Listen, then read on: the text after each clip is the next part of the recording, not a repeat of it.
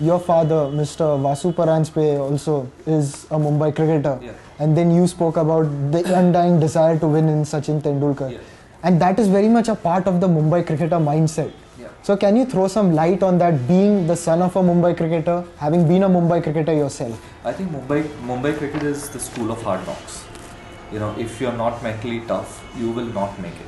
It's as simple as that. You could have all the talent in the world, but if you are not tough mentally, that system will just churn you out.